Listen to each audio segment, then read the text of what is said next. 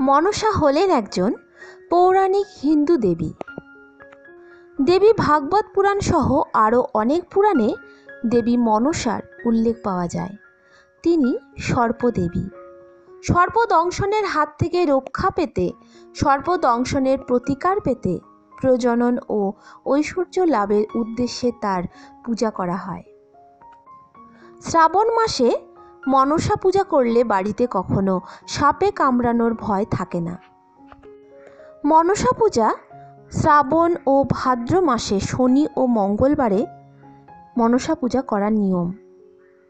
মনসা পূজা করতে যে যে উপকরণ লাগে, তার মধ্যে হলো একটি মনসা গাছ লাগে, আটটি নৈবেদ্য লাগে, কলা আর দুধ। আর মনসা পূজায় ধূপ দেওয়া নিষেধ। এইভাবেই মনসা পূজা করতে হয়।